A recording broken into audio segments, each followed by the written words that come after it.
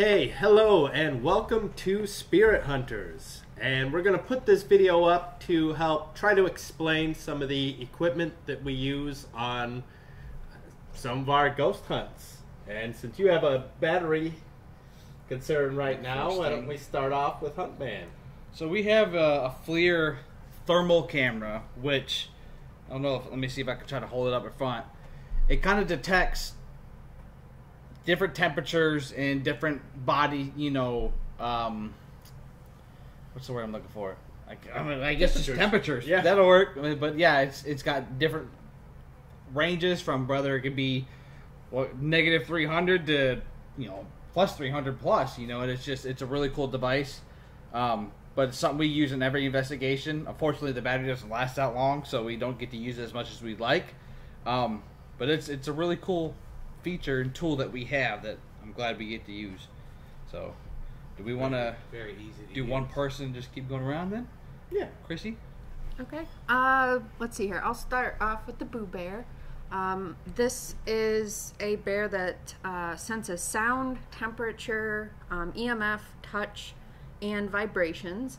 Um, it will also um, ask a series of questions, um, kind of like "How old are you? Um, can you tell me a story?" and different things like that to try to get a dialogue going. And we usually have like a camera around it and re- something recording in case something actually does answer Boo Bear. So, We've gotten quite a few things on. Mhm. yeah. So, Lisa? Boo Bear feels like a full on team member at It this does. point. yeah. And these, I don't know if you can see, are little EMF recorders, EVP. VP. EVP recorders, Electronic voice Um, phenomenon. or voice tracers, they say on here. Um, I don't know. You can ask questions, you talk to them, you can stop and replay, so you can do like real time listening. Most of the EVPs you've gotten, though, you actually get on your on Phone. phone. On my phone. That's one of the best tools you can have. Yeah. so if you already have a phone and you don't want to buy one of these, that's Use your perfectly phone. fine to use as well. Yeah. Yep. Yep. Yeah. Uh, one of these, or these are a little convenient to ask a few questions and to hear it right back immediately. You know, Yeah. you can respond to that, but her phone actually records really good. Yeah. You're up, Dan. Um, I have EMF readers. I have three different types: Mel Meter, K2. These, um, Electronic magnetic field. these use like, excuse me, electric magnetic fields. They sense fields. They can detect if there's, and in this case, um, high milligauss readings, uh, and will detect it and show the danger level to that reading. Uh, K2 meters are really easy to use. They're really easy to see in the dark. Um, Mel meters are also very easy to use. They have a backlighting, and they also tell you room temperature. So if you have a sudden temperature drop, you can you know note that immediately, uh, and it's easy to be seen on a camera. Uh, Lancy, Okay, what I got over here is just lights. it's very important. We have a wide variety of work lights, uh, little lights that we put on stairways so nobody trips and falls. And then we have our like kind of more specialty ones like our infrared lights and uh, that's about it. We uh, have a lot of battery operated lighting equipment that we take with us for places that may not have power. And uh, yeah, Huntman, you want to Well. follow up on that? Yeah, going off of lights, I have. We also have some motion lights that are really, you know, much more. You know, what's the word I'm looking for? Uh, we we use them a lot more often than you think, especially when you're walking in a, like a dark hallway or something and you don't know where you're at. So you got a camera in one hand, EMF in the other hand. You don't have a light to kick on. They're super bright. Um, they're just they're a good tool. Plus if they're on camera and they go off and there's nobody around, it could be something. Yeah, paranormal. exactly. Yeah. you wanna mention that? Oh yes, all right. So going off the motion things, we all have a motion sensor, like it's a motion alarm. Um, any kind of motion with I think it's like a six to seven foot range. Um, it goes off, sends a charm, chime. It's really loud. Um, so even if it's not directly in front of a camera, say it's around the corner, that camera's still going to pick it up because of how loud it is. So that's also a really helpful tool that we use. Um, Chrissy? And we've got a lot of evidence. We that. did. We cut. Yeah. Uh, this is a spirit box, and what it does is it scans through AM and FM stations.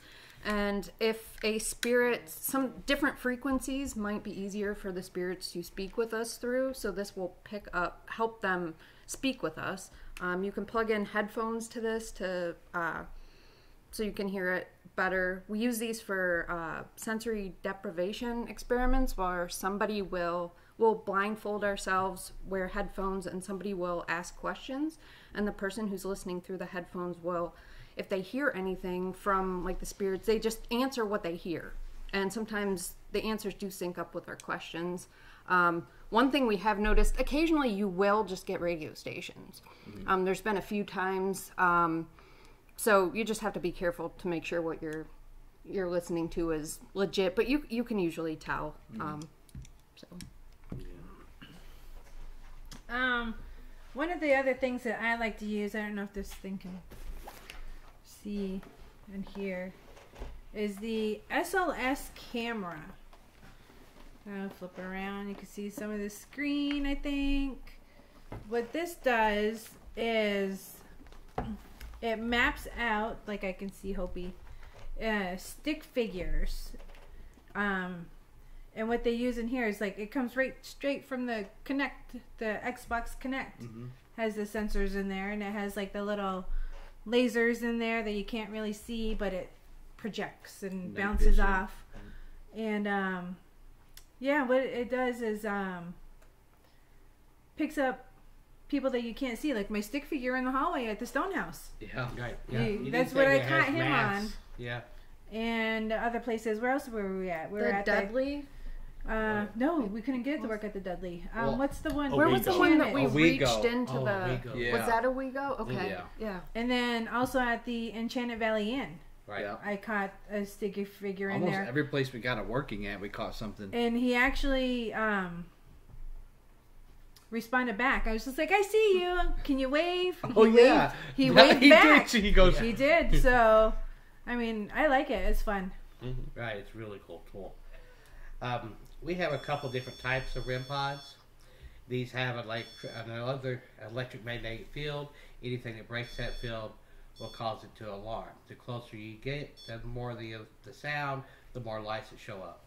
This REM pod particularly also has um, a temperature detector. So anytime it goes beyond five degrees either direction of whatever the median temperature is, it will also alarm, and these lights here in the front will display depending on the uh, number of, of degrees it drops. If it's over 10, different light, that sort of thing. Okay. Uh, next thing I got is just we also use well, what, what you have to is a, a variety of different cameras. Uh, everything from handheld cameras to body cams Night vision. uh, yeah. to these small unbranded cams that you can take with you to places on the go. Um, and also we use our phone cam Phones, a lot phones too phones a yeah. lot. But yeah, we have a, a wide variety of cameras and uh, that can detect different or work in different lights. Hmm. You know, night vision, IR, and some that are just your standard camera. We use our phones to record a lot of even stuff. we use old cell phones as well those are handy if you have any of those sitting around your house We use them as static cams, just sitting up there. Yeah, yeah, well, the camera set up. technology has advanced so much in cell phones that they really are a, a, a valuable Yeah. tool. Yeah, it's funny for well, all of us sitting here. Uh, the only Yeah. person in our group who wouldn't understand that would be Nathan. But you know, it's weird to me still that your phone has a more advanced camera than like these that used to be so expensive, and you know, Yeah, like- more. Yeah. yeah. Um, I think I'll just finish off with my last two items that I Yeah. have here. Um, one is walkie talkies, and I think for anybody that's in a group of you know probably three or more, maybe even two, just depending. Um, walkie talkies are a huge item that you really need to get into because you know there's times where you're not always going to be together with your group. Um, something happens, you're by yourself. You can radio it in most likely. You know, Um, they got a call function on there, so say you can't talk, you hit the button, everyone's gonna know something's up. Um, and me, I send to I don't know how I always have them in my pocket, and um, almost every investigation, like clockwork, I always hit that freaking button, and it you know goes off like crazy, and everyone's like, Hunter, what are you doing? You know. Uh, but yeah, they're a really valuable item. I think everybody that's considering getting into ghost hunting with you know a group of people should seriously invest in them. We have what ten to twelve, you know. Um, these ones go up to 16 mile ranges. They're they're a phenomenal tool. Um, second option here is uh, actually a laser grid. I don't know if you guys can see that, um, but it reflects. Let's see if we can right off the wall. Yeah, you can. It's light, but you can see it. Um, but we put this in front of like certain cameras, and uh, it shoots out hundreds of these laser grids, and we put them all over the walls. And uh, say we have like a camera right there, and we got we feel like this is an active corner or whatever. We'll put the laser grid up beside this camera, and the grid is used to pick up apparitions or whatever may move in front of it. 'Cause when it, when someone is when something's walking in front of it, they uh, it kind of reflects off of them and kind of shifts the light to a certain degree to where it's a lot more you know noticeable to pick up. Um, but I yeah, if you're seriously investing into ghost hunting, that's another big you know tool that you should really invest in. Um, make sure it's a good high powered one too, because they do drain the batteries pretty quick. But you know, Okay. And our next item, this is actually a pretty inexpensive, I think, tool to use. It's called a cat ball. Seems really simple, but this is actually quite, pretty valuable. Um, when you press the button, when something touches it, it will light up. I don't know if you can see that. Um, and basically, it not only shows when something's touched it, we also use it to speak with the spirits. A lot of times, um, we've had sessions where you can ask yes or no questions and it'll set this off. So, not only does it detect motion, it can also be a vessel to communicate with us. um, well, It's a really great tool because it has to physically be moved. Yeah, as I say, also there's times where we've actually not just it lighting up, where it's actually moved a little bit, you know, at Yeah. times too, which is another phenomenal tool. And my last item are these puppies. they are my dowsing rods. Um, I get a lot of my information from these things. They're just uh, copper wires. There's a little, they're on a little spindle, so I hold this and they, they spin back. But they they work pretty well. She gets a lot of answers, a Yeah. lot of activity. And we use a lot of ways to try to confirm, you know. and have had some major things confirmed. Things that were Right. like, okay, there's no way that's not. Things that True, we could you know. not have known whatsoever, Yeah. and we confirmed it later to you know witnesses that. Mm. uh, Yeah, hit at right some on. point we'll do a more in-depth video on them about, say, if somebody wanted to get into it, you know, Yeah. we'll have you sit down and explain like what you do and those kind of things if you're comfortable with And it. Yeah, how yeah, maybe yeah. to get Uh, it too. And also, if any of you guys are interested in seeing any of these items, you know, a little more advanced, see how they really work, and you know, blah blah blah, whatever you guys want to. more in-depth. There you go. Um, yeah, go ahead, and leave a comment down below. You know, we're we're more than willing to show you guys. So Not And wait, wait. Not only Oh, do go they give me yes or no answers, I can also find objects. yes, So, yeah. yeah, which is kind of cool too, uh, and show where things are going, which is really actually Yeah, like- pretty cool. yeah, Yeah. I, one of the things we do when we go out, not every place obviously has electricity. So we invested in a number of different types of um, power banks, what's that? power banks or stations. Power banks, chargers, different things like that, so that we could, comp- you know, have six to eight hours of video without actually ever having to plug anything in, and that's on multiple devices. So we have multiple chargers, um, and of course, we always make sure that we bring a first aid kit because you never know what could happen out in the field, especially on uh, some of the rougher, uh, you know, places we go that are falling apart, you know, in some places. So it's good to always have that with you. I think that's it for me. Yeah. Anything else? for about all of us? That's it for all of us. Coffee.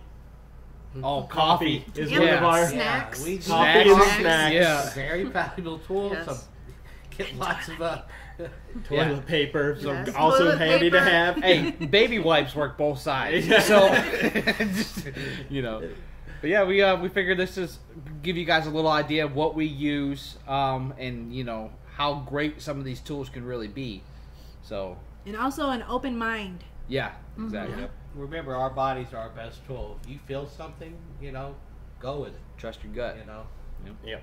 Yeah, to get started, you don't really need all of this kind of stuff. You need, like Lisa said, an open mind, your phone, Um, your a flashlight, senses. Yeah, exactly. and Like what and did a we friend. start out with? And a friend, exactly. Pretty much that. Yeah. Walkies. If you're more than a group. Yes. Yeah. Um, yeah, so I think that about does it. Uh, hope you guys found this interesting. As they mentioned, if there's any piece of equipment you'd like a more in depth explanation on, uh, be sure to leave a comment and we'll post a video talking about that. Right. Or if you have any types of cameras questions. use, Any questions in general, cameras, things yeah. like that. Yep. Uh, and make sure to subscribe and like the video and share them with your friends and check out the other videos we have on the page. We've Yep. got a pretty good collection now. All right. We'll see you guys later. Take care.